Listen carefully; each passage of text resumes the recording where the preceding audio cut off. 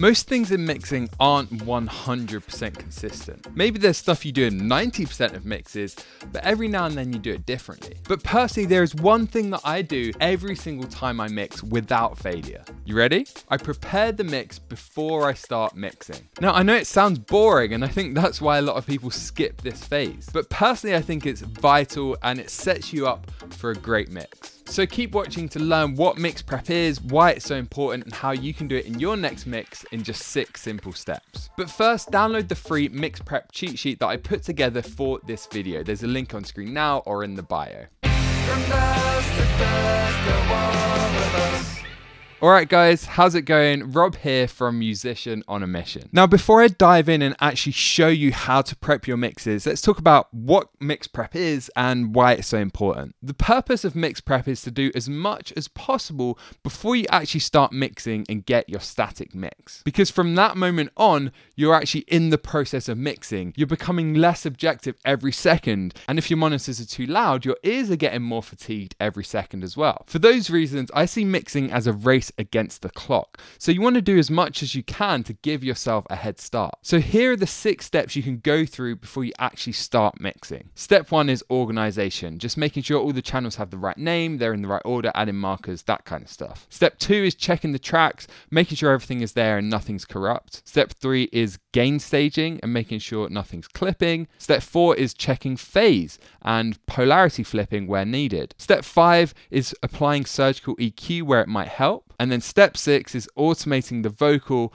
or any other parts that you want to be really consistent and upfront. Now, the common theme here is that all of these things can be done in solo before you start mixing. So you're not listening to the full track yet, which means it's not starting to influence the way that you're hearing it. And I want to be clear that the goal here is to do as much as possible without making the track sound different. As soon as you start making the track sound different, well, you're going through the act of mixing. And this is a bit of a grey area when it comes to subtractive EQ, but we'll come back to that later. Okay, let's let's actually go through these steps now and prepare a mix. So step one is organization. We just want to import the files or if you're already working within a project, just consolidate them down so that you don't have loads of edits on screen or 50 different vocal takes. We just want to clean everything up, make it really easy to move around the mix. So if you're working with tracks that you downloaded online or that someone sent you like this, then you might also find they have weird naming conventions. Instead of going through and manually renaming these, you can use something like File Rename Pro, which you can get on the App Store, and using regular expression replace, which is going to find uh, digits, for example, with backslash D. That's the regex for digits. So before it was just like this we've got one one and then underscore that's the bit we want to get rid of so that when we drop them in the DAW, they're already labeled properly so we can do that by just going backslash d which is digit gets rid of that underscore and then we need the other digit there and now you can see before it had this weird naming convention after it it's just clean we can hit rename done, quit, and now that means when we drag these into our project, everything is already named. So you might want to then go through and rename some of these so that it makes sense to you, whatever you need to do to make sure all the names are correct. Now, if you're working on your own music, you're probably not going to be going about it this way. So, what I would recommend you do is actually export the files so that you can go through that process you just saw. So, you start a new project with your mix, or you can just consolidate them in the project. Because if you've got loads of different takes that you are comping and you've been editing the track, if you just start mixing in that same project, it can be really tempting to keep editing and keep playing around with stuff. So, once you've done that, check the names, put them in the right order order. It really doesn't matter what order you use, just try and keep it consistent. So I tend to go vocals, then drums, then bass, then everything else. Once you've done that, you can add some markers. So we might want to find just the last chorus of the climax of the song because that's the best place to start mixing. Just loop that. So we can add some markers in here just to that chorus, maybe some other verses, just to make it easy to move around the track. And then the last thing I'm going to do here is just create some buses so that my group buses are ready to go. I can add plugins to the whole drum kit if I want to and that kind of stuff. So for me, this is enough, but you might have some more complicated signal flow channel routing going on, and you want to do that now, have everything done, so that when you're mixing, you can just send stuff to the right place. Okay, so that's step one, just organizing everything, making sure it's going to be easy to move around when you're mixing. Step two is to go through and check all of the channels, make sure there's no audio missing, nothing's corrupt, make sure everything's there, just look out for any potential issues. So it looks like everything's good here. I was worried that I was missing the vocal, but this is actually an instrumental, so we've just got this kind of weird vocal intro. And that's the kind of stuff you tend to look out for is just are there weird clips where it looks like there's no audio or like it's been exported wrongly, that kind of stuff. Because you don't want to get distracted later on when you're in the heat of the mix and everything's going really well, and then suddenly you realize, oh shit, the snare mic's missing. It's happened to me a few times and it's always really annoying because then you have to just stop find out what happened, and it's just a complete ball ache. So get that out of the way now and make sure everything's there. Step number three is gain staging, and this really shouldn't take that long. It's just the case of going through, making sure none of the tracks are clipping,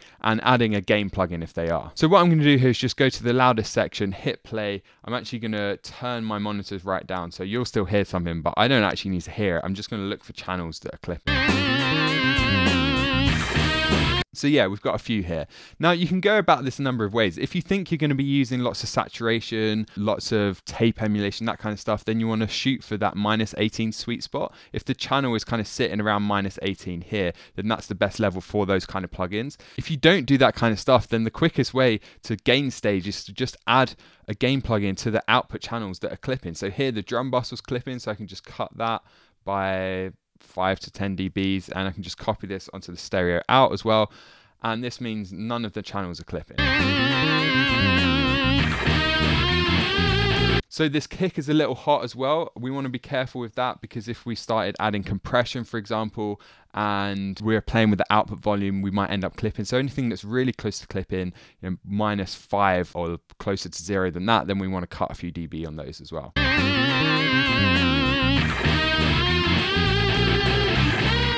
Equally same here on this guitar channel.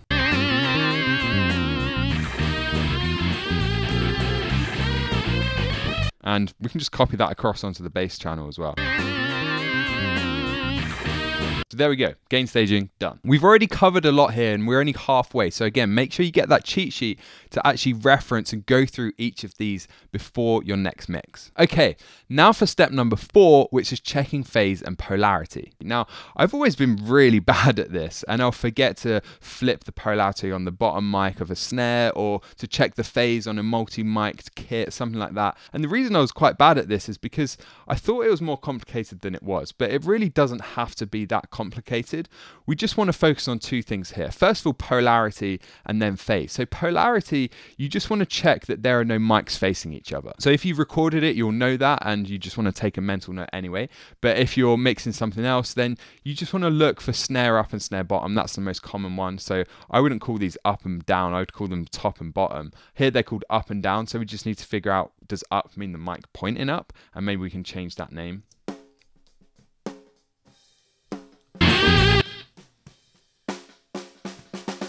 So that's actually the snare bottom and that's the snare top.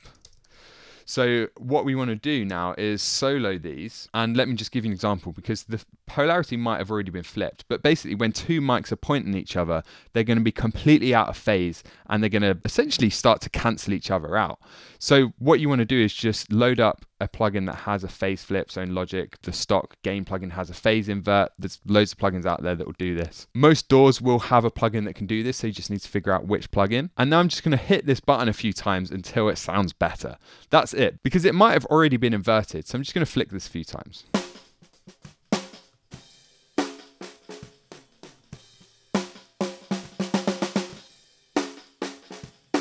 This is a great example. You can actually hear it really clearly. When I don't phase invert, which means this has already been done, the snare sounds quite full and it has lots of low end. But as soon as I hit that button and flip the polarity or invert the phase, what it's doing is cancelling out all of that low end and it just sounds really thin and weak and meh. Have a listen again. So this is without which means they've already flipped the phase. And this is when I flip it back to what it would normally be like. So if your snare sounds something like that, you need to invert the phase. Because it's already been done on this snare, and that was probably on the preamp when they were recording it, they did that, I can just get rid of that plugin. So the next thing is to then check phase.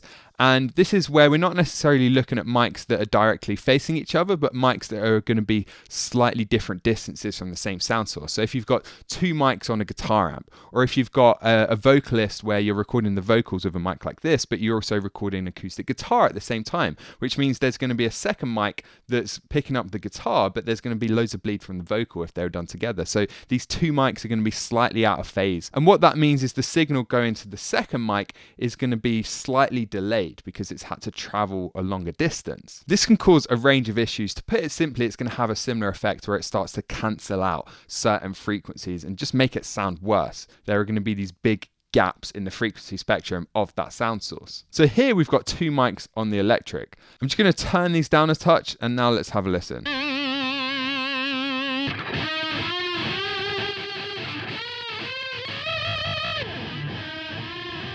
So it sounds like that one might be a room mic.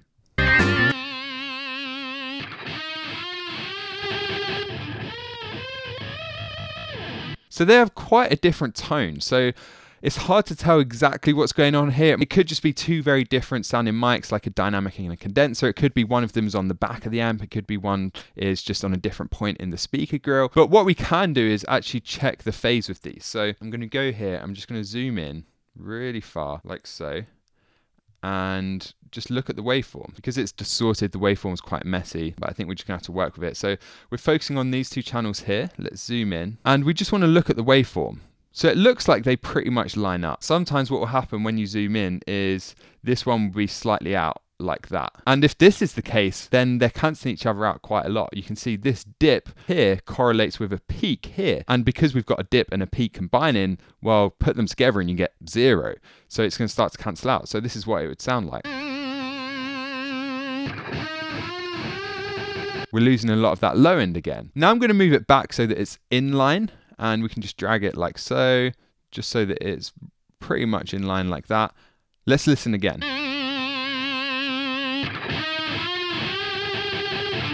So before and now after. Big difference, right? And this is something you could spend the whole mix trying to fix. You'd be like, damn, why does this guitar sound so weak? So you try EQ, you try compression, all this crazy stuff, when in reality you just had to check the phase. So this is important. You won't have to do it in every mix, but you just want to make sure you actually remind yourself to check the phase, check the polarity, and make this part of the mix prep process that's the tough stuff out of the way. That's probably the most difficult part of this. So now we can move on to the more fun stuff. Step five, which is surgical EQ. Now, I didn't actually start doing any EQ as part of the mix prep phase until a couple of years ago, but I think it's a really great way to, again, save time when you're mixing because quite often surgical EQ, where you're just removing nasty stuff, it doesn't really make things sound different. You don't need the context there. You just want to get rid of the noise in the low end or get rid of this really nasty resonance on the tom, something like that so that when you're mixing, you can focus on how to shape things tonally with EQ, how to make them sit better in the mix. And for those decisions, you need context. But for anything you could do in solo, anything that's a bit more objective, you can do that now in the prep phase. I find myself doing this most commonly on vocals, but here we don't have a proper vocal part. So instead, I'm just going to scan through each of these, see if there are any major issues on the drums, the kick, the snare, the guitars, stuff that we could fix now not to make things sound different, but to kind of just remove that nastiness, remove this layer of grit that's sitting on top of them. We just want to try and clean the channels up.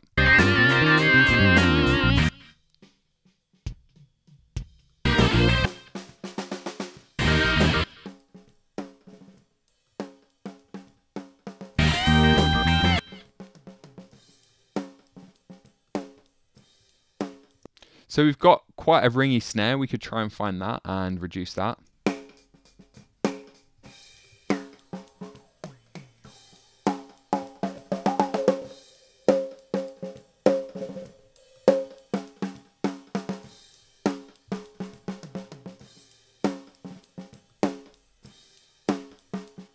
You could use multiband compression to tame that, but for the sake of simplicity, I'm just going to leave it with EQ there because that sounds great to me. And we could then tidy up some of that low end as well.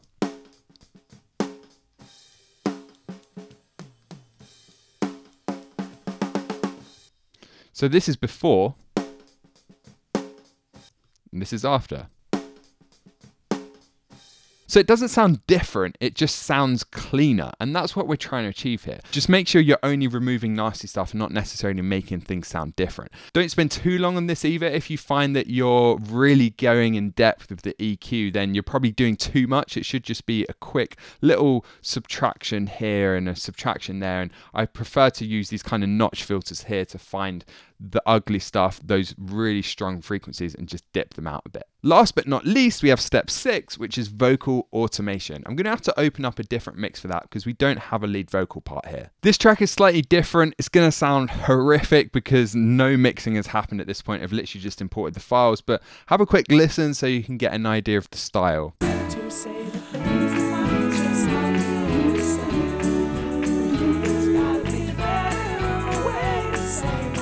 So kind of indie folk, very vocal focused. So with these kind of tracks, whether it's like this or whether it's more electronic pop, any genre where it's really the key element, I think it's worth going through and actually automating it now as part of the prep phase so that when it comes to mixing, the vocal's already super consistent and you can just focus on EQ, compression, that kind of stuff without having to spend loads of time automating the vocal. It's not perfect because it is often nice to have the context when you're automating the vocal to know which words are going to get lost in the mix, but I still think there's more benefits to doing it now as part of the prep phase and then you can go back and tweak it later on. So what I used to do was literally go to the vocal and look at every single word, bring up the quiet words, bring down the loud words so that it was just uber consistent. So we can just get a rough idea. We need to actually listen to this, but you can just see from the waveforms already which words are going to be too loud and which are going to be too quiet. Make sure you're doing this in solo and you could just go through and do it this way. To say the things that might just help me understand.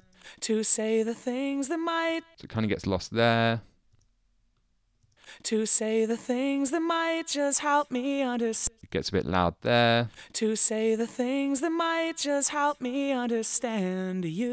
To say the things that might just help me understand. Bit lost there to say the things that might just help me understand you. If you have the time to go into this much detail, then I do recommend it because it will have a huge impact on the end result. Having said that, what I find myself doing more commonly now is using a plugin like Waves Vocal Rider that basically does this for you and then you can tweak it afterwards. So if we get rid of all that automation, um, and then we can just use vocal rider and tweak the settings now again in the prep phase, write it to the channel so that when we're mixing, we don't have to worry about this. Now that we've tweaked the settings a little bit, we can set this to write, set the channel to write, and actually get this onto the channel itself. And now what we can do is actually tweak this. So I can go through, just listen and catch these bits where it does it a bit too much and manually edit it. So that's step six, automating the vocal so that when it comes to mixing, it's already consistent, already sounds great. It's going to be easier to balance and then easier to compress, EQ, etc. So there you go, six mix prep steps. It's better to mix fast and preparing the mix extensively like this really helps with that. So if you actually want to go and implement this, I highly recommend you get the cheat sheet that walk you through each of these steps. You can use it as a checklist to make sure you're covering all of this, not missing anything. And it's completely free. So just head to the link on screen now or in the description to go and download that. And if you're new around here, don't forget to subscribe and hit the notification bell. So that's all from me. I'm Rob from Musician on a Mission. And remember, create regardless.